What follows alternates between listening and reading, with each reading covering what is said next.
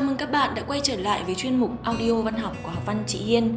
Hôm nay, nhân dịp Tết Trung Thu, cùng chị lắng nghe một bài văn thuyết minh về trận bánh Trung Thu có lồng ghép yếu tố như miêu tả, tự sự, biểu cảm, nghị luận nhé.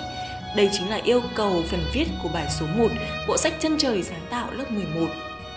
Tháng 9 thu gọi về, hàng hoa sữa bên đường đã nặng bông, chỉ chờ ít độ nữa bung nở mà tỏa hương nồng nàn khắp phố phường – Dọc tuyến phố hàng mã những ngày này cũng nhộn nhịp, rực rỡ, đủ loại sắc màu của đèn lồng, đèn ông sao, những dòng chữ treo trước cửa tiệm vui Tết Trung Thu. Dường như cả trẻ con và người lớn đều đang mong rước thu về. Người ta xuống phố, lựa những chiếc đèn lung linh nhất, hòa vào không khí nô nức của người người, nhà nhà mà chẳng mấy dịp trong năm mới có. Và đặc biệt, mỗi dịp thu về cũng là lúc chúng ta sẽ được thưởng thức một món bánh truyền thống không thể thiếu trong Tết Trung Thu, đó chính là bánh Trung Thu, loại bánh tượng trưng cho sự đoàn viên và hạnh phúc. Tháng 8 âm lịch theo truyền thuyết là đêm thu đẹp nhất trong năm vì trăng thật to, tròn, sáng và đẹp. Trong dịp này, người ta thường làm cỗ cúng gia tiên và đây cũng là dịp để thưởng thức những chiếc bánh trung thu thơm phức do các bà, các chị tự tay làm hoặc mua những chiếc bánh đủ kiểu dáng ở ngoài thị trường. Bánh trung thu được bắt nguồn từ Trung Quốc và sau đó được truyền bá rộng rãi đến Việt Nam.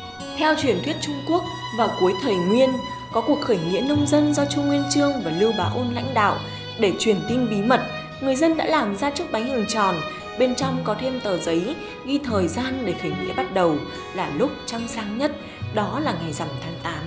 Sau đó, bánh được truyền đi khắp nơi. Từ đó, người Trung Quốc lấy việc làm bánh trung thu vào ngày rằm tháng 8 để kỷ niệm việc làm ấy. Mặc dù du nhập về Việt Nam, nhưng bánh trung thu ngày nay đã ăn sâu vào trong tâm trí của người Việt bởi những ý nghĩa mang giá trị nhân văn của chính nó. Bánh trung thu được làm từ rất nhiều nguyên liệu. Vỏ bánh cần có bột mì và gạo xay hoặc giã nhuyễn cùng với nước đường và cả nước màu để quét lên trên bánh.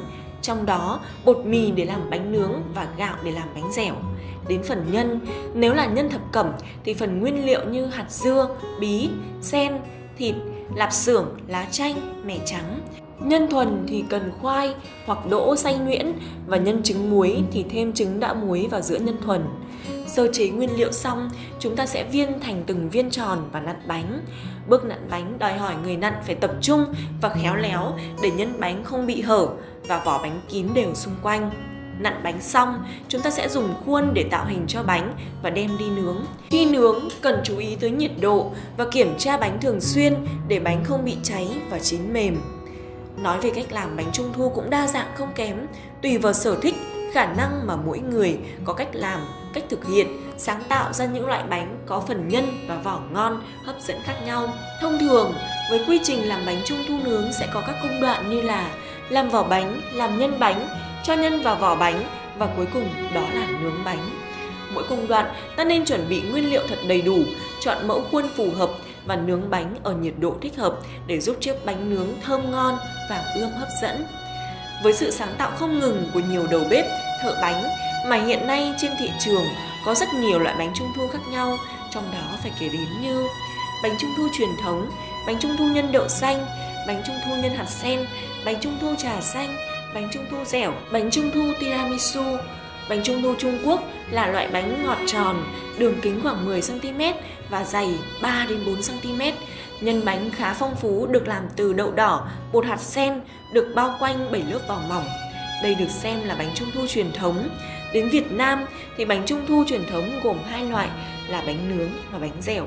Nhân bánh có mặn, có ngọt, đủ vị để thể hiện tình cảm ngọt ngào và sự ấm áp của gia đình.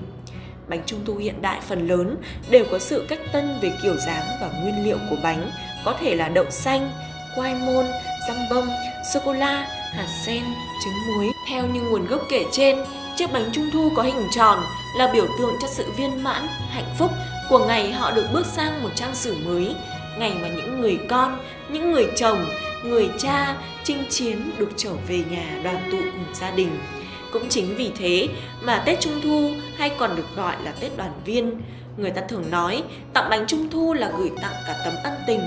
Ngày nay, việc tặng bánh Trung Thu trong tháng 8 cũng như một truyền thống đối với nhiều người. Bánh trung thu không chỉ là chiếc bánh của tình thân mà còn là thức quà tặng ý nghĩa tốt đẹp về sự đoàn viên, về lòng biết ơn cùng những mối thâm tình bền chặt. Trà và bánh trung thu là sự kết hợp hoàn hảo khi thưởng thức nhân dịp Tết Trung thu, Tết đoàn viên. Bánh trung thu là một loại bánh kỳ công, có vị thơm ngon. Không những vậy, nó còn mang ý nghĩa rất lớn đối với mỗi gia đình trong ngày Tết đoàn viên. Mỗi năm Tết Trung thu đến, mọi nhà đều quây quần bên nhau ăn bánh trung thu, nhấp một ngụm trà, vui cười kể cho nhau nghe những chuyện vừa xảy ra trong nửa năm qua, thật ấm áp làm sao. Ngày thơ ấu, bất cứ đứa trẻ nào cũng đều háo hức đến ngày trăng rằm tháng 8 để được quây quần bên mâm cỗ trông trăng, được múa lân trong tiếng trống tùng rinh rinh, trên tay cầm đèn ông sao, ông sư lấp lánh. Dù đã lớn, ai cũng đem theo những ký ức tươi đẹp ấy bên mình. Và rồi, mỗi khi mùa trung thu đến là một lần được sống lại với những tuổi thơ của chính mình. Bánh trung thu không chỉ là món quà ý nghĩa trong dịp Tết Trung thu mà còn là biểu tượng văn hóa đặc trưng của người Việt Nam. Cái không khí ấm áp của nhiều người tụ tập dưới đường phố, ánh đèn chi chít khắp mọi nơi. Đứng từ xa nhìn lại, giống như một bức tranh sơn dầu tuyệt đẹp. Hòa chung trong không khí vui tươi đó là bánh trung thu, một món quà ý nghĩa, một món quà không thể thiếu, một nét đẹp rất riêng của mỗi độ thu về. Tấm lòng thơm thảo, sự tài hoa, cẩn mẫn của con người và đất nước Việt Nam đã được gửi gắm vào trong những chiếc bánh vuông, bánh tròn đó. Cảm ơn các em đã lắng nghe hết audio. Chúc các em có một mùa trung thu đoàn viên ấm êm, hạnh phúc và bình an nhé.